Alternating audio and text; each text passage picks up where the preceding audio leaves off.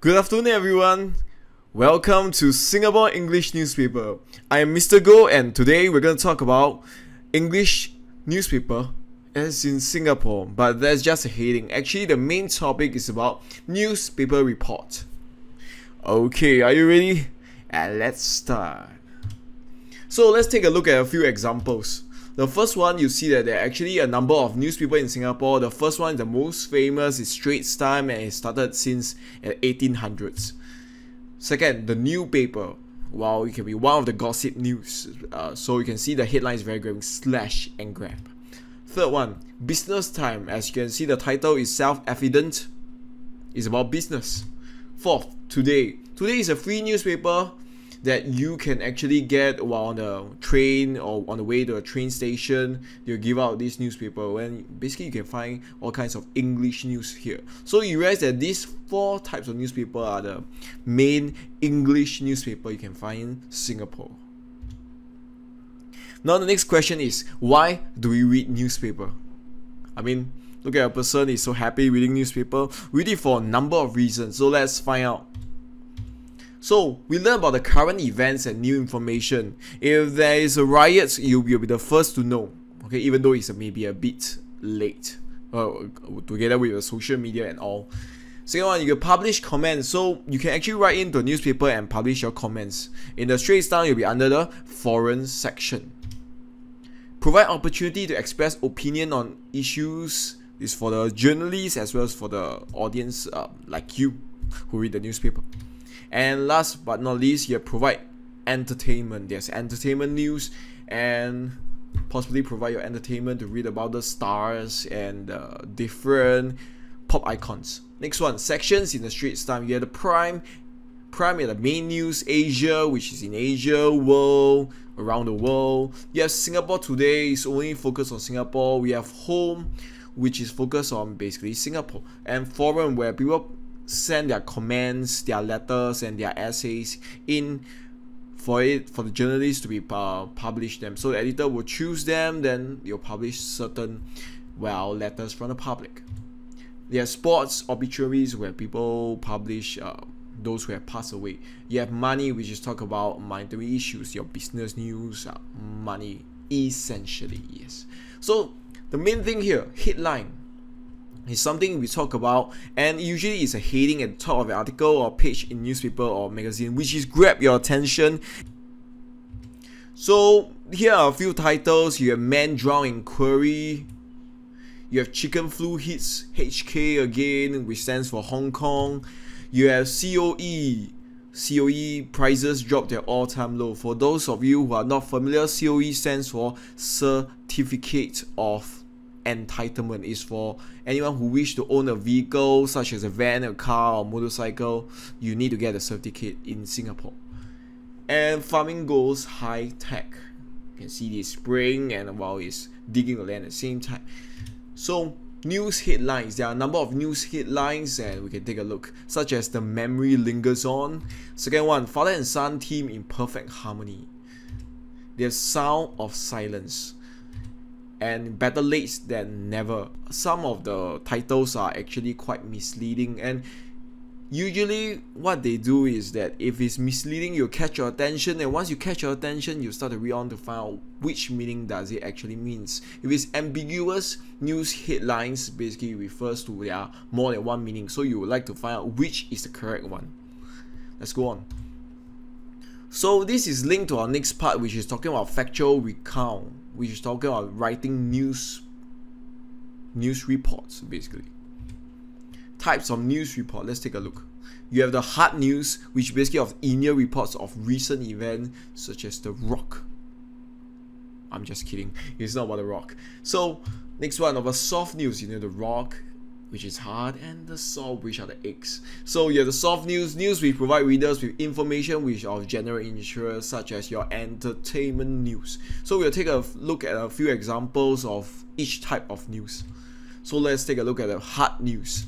First one, you have road accidents. These are recent news. You can see belongs to the hard news. Next one, criminal acts, robbery, kidnapping, wild rape. Yeah, that belongs to criminal acts. Next one, natural disasters, tsunamis, earthquakes. uh, tornadoes. So all these belong to natural disaster. And national events, National Day, and so on. So announcement on public policy. So if the president or the prime minister decide to make announcement, and this will be the area where they publish the news. They will be consider hard news. And if you look in the picture, there it will be our current president, Mr. Tony Tan. Next, sports events, soccer, World Cup. This will fall under hard news. Soft news, on the contrary, you have four types of soft news. First one, new inventions. If the latest iPhone come out, it will be considered as a new inventions. Next one, you have trends in society and lifestyle choice. So let's say more people like to use kick scooter or scooter to travel around. This will be considered uh, trends in lifestyle choices. Next one, celebrity profiles. You see news from them. This Lady Gaga decided to put on a meat dress. That will be considered the celebrity profile. So next one, and travel destination. Sometimes you see people publishing places such as the Maldives, and that will fall under the soft news. Next one. So we come to exercise one. This one you'll find in your cosmology exercise or in the exercise that will be attached. So I'll be showing you the questions and uh, but I will not be going through the answers. First one, for the headings A to G, decide if they are hard or soft news. Hard or soft news. So next one. So victorious lions return home to roaring welcome. And lions in this case it doesn't refer to animal, refers to Singapore football clubs. Okay, next. This Disassemble kittens found outside Chong Pang flat disassemble beast means that the person or the animal has been torn to pieces. 7.7 earthquakes hits off Alaska, that's in America, triggers local tsunami. Number D, top 10 little known dream islands. E, workers die from the fall at Sengkang site. F, thousands flee wildfires in southern Australia.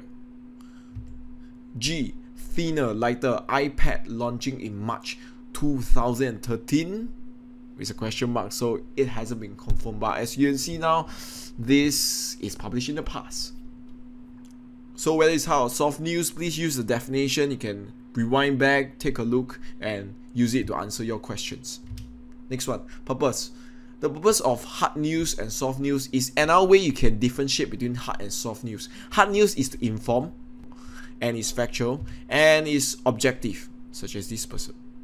Very factual, is forming in such a tone. And there's a very cute next. So soft news. So soft news is to entertain you. It need not be factual, can be fake. And it's subjective. Scary, entertaining. There you go. So our focus here, hard news.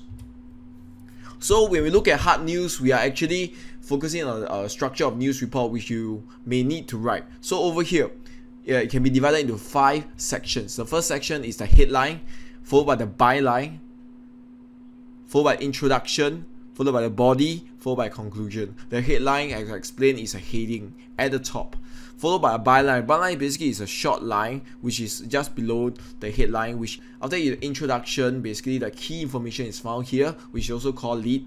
In your body where you find all the juicy details or not so juicy details and finally you have the conclusion where you wraps up what's the next progress or maybe you can to read on read page 7 okay next exercise 2 so in this case, you won't get to see exercise. What was going to happen here is I'm going to go through the answer and I'll explain a few of the answers.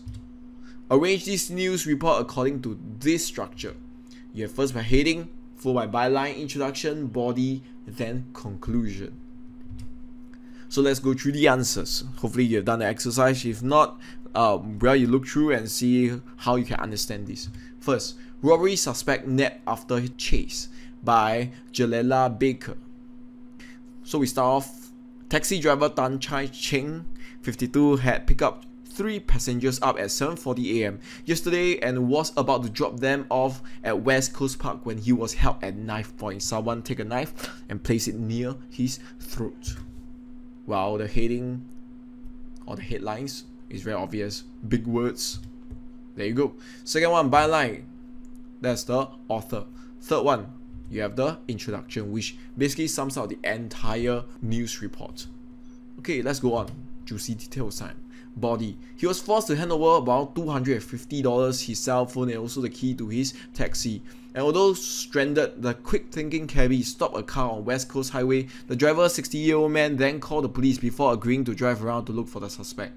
So over here, he was uh, the juicy details are here. The details are $250, the 60 year old man, West Coast Highway. All the details are here, and this will be considered the body. And usually it's quite long.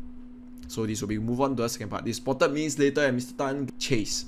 Student Michael Theophanes, 19, who had heard Mr. Tan cries for help, instinctively joined in. And when the three suspects tried to escape by taking a bus, Mr. Tan stopped it by standing in front of it. He then did the same when they tried to board a taxi. Even threats by one of the suspects wielding the knife failed to deter the pair. The police arrived shortly and caught a man and a woman. The third suspect was arrested at his house about 8 hours later. The three suspects are aged between 18 and 22. You can see they are quite young. In yesterday evening at the Clementi Police Division headquarters, Mr. Theophanes was given a plaque and commended for his actions. And my apologies for the spelling for commander is that spelling error, but the correct spelling is C O M M E N D E D. Next. So the conclusion. So all the juicy details are gone. The conclusion will wrap up. You see what happens after. Mr. Tang, who had remained calm throughout the incident, had learned his lesson from a previous experience. He was robbed of $10,000 eight years ago in the lift by three knife wielding men and still had a scar to show for it. So you can see he's quite experienced. Those convinced of armed robbery with hurt may be jailed up to 20 years and are liable to a minimum of 12 strokes of the cane. So you can see as a conclusion, usually sum up by the listing the offense and what it potentially can do. And this is sort of act as a warning for anyone reading the article or the news report. And that's the end. Thank you very much for watching and hope to see you soon. Bye bye